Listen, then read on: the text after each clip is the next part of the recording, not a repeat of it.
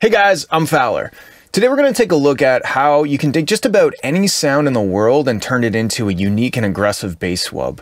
Uh, make sure to stick around because at the end of the video, I'm going to provide you with a link to grab all of the sounds we come up with uh, so you can play with them, experiment, and maybe use them in your own production. Also, make sure to subscribe, uh, leave a comment, and uh, hit that like button because you know that's that's how YouTube works, baby.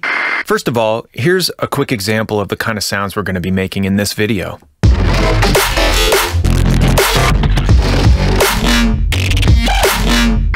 So I went over to my Discord server, link in the description, and asked my fans to send over some random sounds. Boy, they did not disappoint. Enemy spotted. Thanks, Arthur.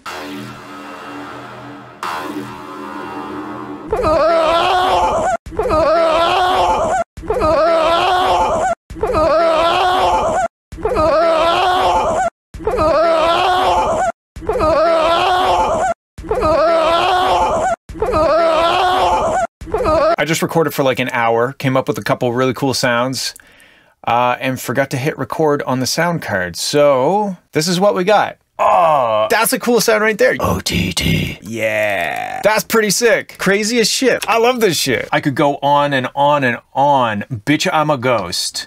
Anyway, I'm just going to start over again. We'll probably come up with two completely different sounds, um, but at the end of the video, I'll show you the sounds that I came up with from the first session and we'll kind of compare them. So here we are in FL Studio. I've got the first sound, which is the video we just watched. Okay. And then the second one, you're going to have to wait until later to find out which one that one is. First things first, I like to just maybe time stretch it. Let's just, uh, we'll turn stretch on and we will just stretch it way out. Um, now, obviously, this is going to put the pitch way down, but we can go into the clip properties here and select uh, speech, maybe. This one usually gives a pretty interesting result. And from here, I just kind of, I just tweak stuff. I just mess around, experiment. I don't necessarily know what I'm going for at the start, but just in experimenting and stuff, I kind of let it tell me where I'm going. All right, let's let's run with that. I'm going to assign it to a mixer channel. Let's just see what happens if we distort it. Ugh.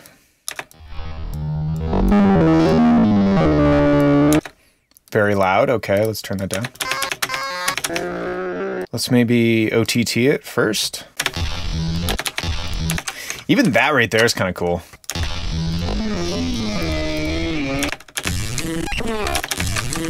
Woo! That's cool. That's fucking sick. Oh!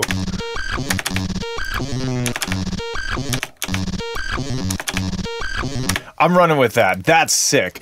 That was like maybe like his vocal cords just starting to move, but I've stretched it out so that, you know, maybe like one millisecond of original audio time now equals about a full second.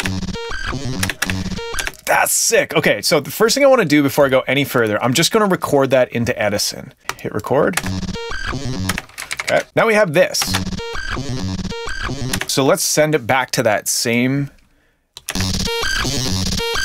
That's sick. Okay, let's let's try putting it down an octave.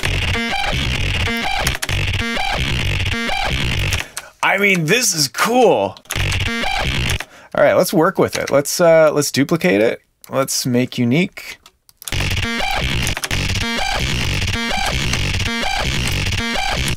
Okay. Um, let's try sending it to a, the vocodex. It's a vocoder, and we're just gonna vo vocode it by itself. Uh, turn off all this. So the order in which you put the effects is very important. It changes a lot. You know, like if you let's let's try putting a very short reverb before the OTT and the wave shaper and turn it just so it's just barely there.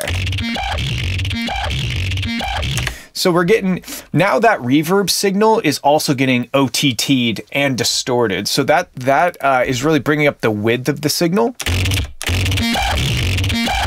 If we turn it off, it's a little cleaner, but it's also not quite as wide. Let's record this again to Edison. There's different ways you can do this. Uh, I just find Edison is the easiest for me. So we're going to put Edison at the bottom of the chain. And then we're just doing the same thing, okay? Now, now we can trim it, drag it down. Now we have this. And we can maybe send that back through the same effects chain. Whoa, that's dirty. All right, let's try layering.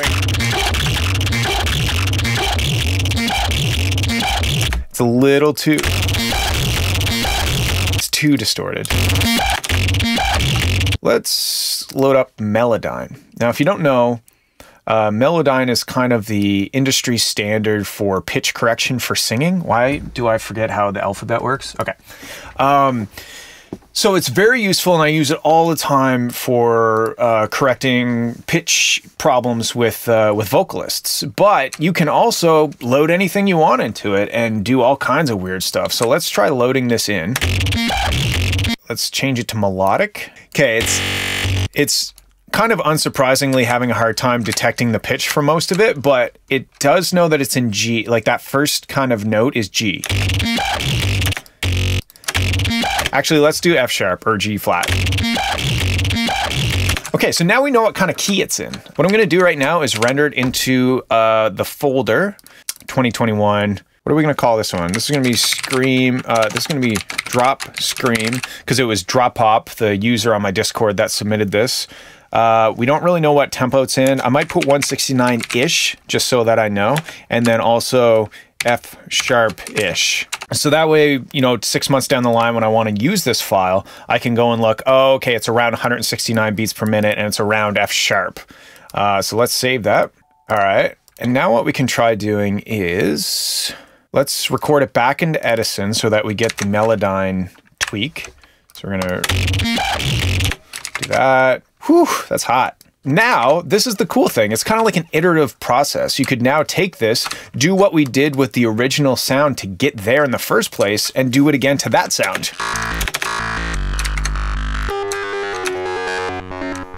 So just basically like breaking things and seeing what happens.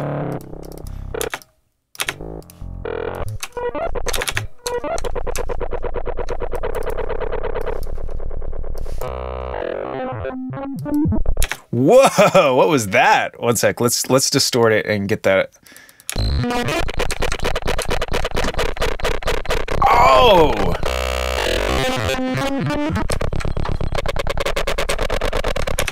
I don't know about you, but I love this shit. I mean, I may be a bit of an, an IDM freak, so maybe that's why I love it, but I love this stuff.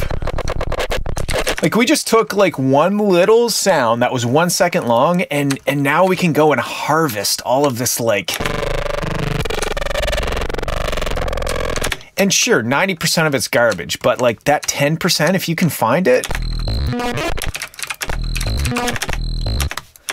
like that, that's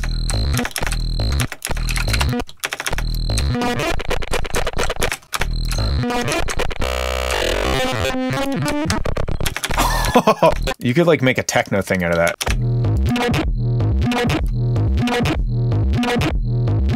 That's kind of a cool groove, right? And like somebody would maybe listen to that, maybe not this sound, but they'd be like, how can I, how did he make that in Serum? How did he make that in Phase Plant? Like what, how do you recreate that? It's like, no, I, I started with a guy screaming and, and, and then went from there. This is how I make a lot of my sounds. I just spend Ooh.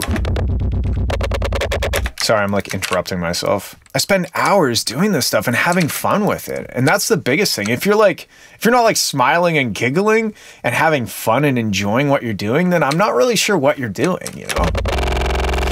That's not to say that there isn't work involved and you're not, you know, don't, you shouldn't expect to always be having a ton of fun. But I think this sort of stuff should be fun because you can hear it come through in the music. Okay, so this is at a good spot. Let's uh, let's maybe render this out as well. I don't know what the tempo is. I'm not going to try to figure it out right now. We're going to call this drop scream two. uh, I don't even know what key it is. Let's, whatever. Well, I'll figure that out when I want to use it. One last time, we're going to load it back in and see what, what else we can do with it and maybe try some different effects. We have all of that uh, uh, rendered down to one file. Let's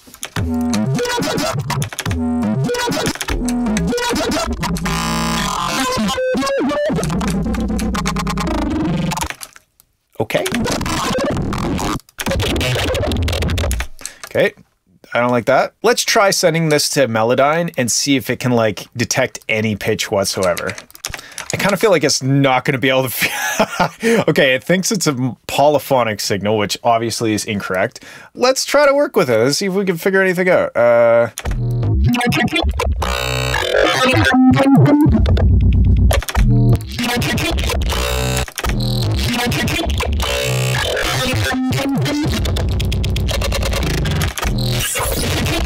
Jesus. Okay, sorry for the that.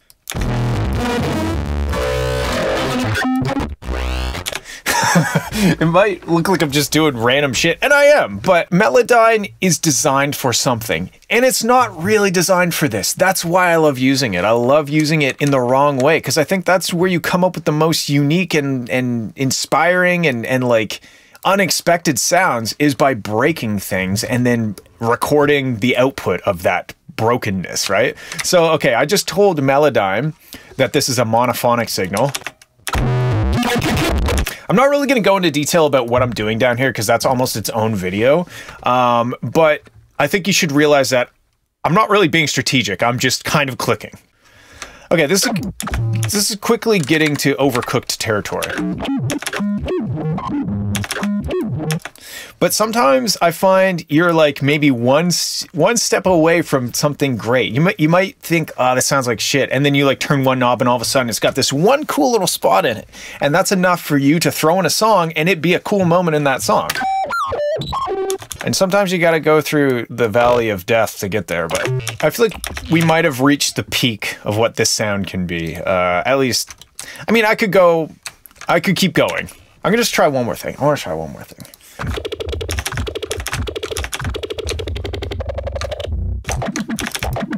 That's like pretty sick. That's kind of cool. Let's keep going. Let's try a different tempo.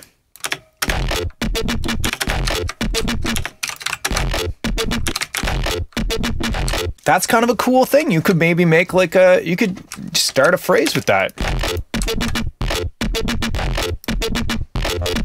That's pretty cool. I'm gonna render that out. Let's uh, let's go. Drop, scream. What tempo are we at? 112. I'm not gonna worry about the key right now. I'm just gonna put 112. Let's move on to the second sound that we've chosen for today. It's this one. Pretty much everywhere, it's gonna be hot. Is that it? Then I don't need a jacket. Thanks, Arthur. Thanks, Arthur. Thanks for this audio, which we will use to make a bass. I guess. Uh, now again, let's just start off by pitching it down, maybe. I like the laugh. Let's let's work with the laugh. Now I find the mono and the speech algorithms, they're the the most character. They're probably, you know, they they sound the worst, but in the best way.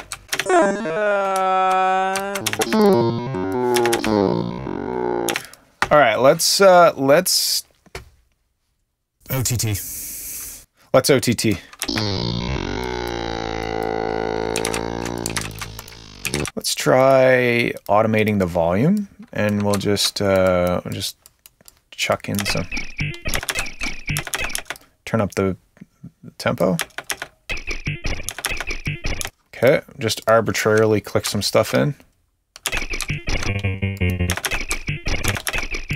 Let's try, let's do 125 as a tempo.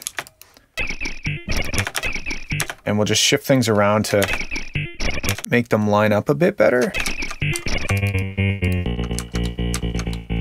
Okay, let's work with this. Let's put it in Melodyne. Now we have the notes. So this is interesting. Again, I'm just kind of messing around with stuff.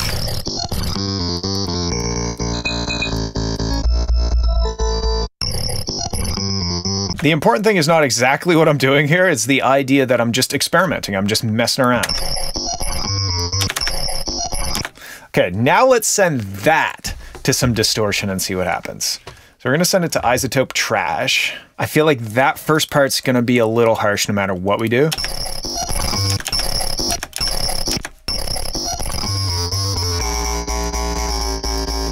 I mean, like, the first part's kind of shitty, but this, this, that's pretty cool. I might just work with that. Let's just work with that. Like, who cares about the first part? Let's do this one. All right, let's try going through, I don't know, VocalSynth. I mean, this is kind of sounding a little bit vocally, so.